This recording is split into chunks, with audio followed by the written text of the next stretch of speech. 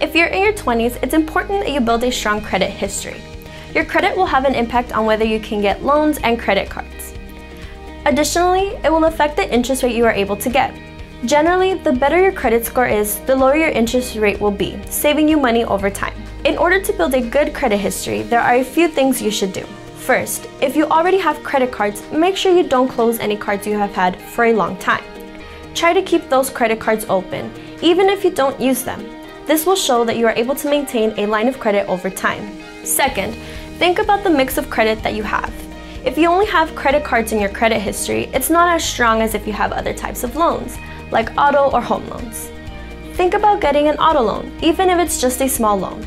If you can show that you are able to pay it off, it will show future creditors that you are reliable. Third, don't ever miss a payment. It's really important that you never miss payments on your credit cards or other loans you may have. If a bank will lend you money, they want to know you will pay it back. Showing several years of on-time payments will prove that. If you have any questions about this, feel free to call us at 800-835-3400 and ask to speak with a member advisor.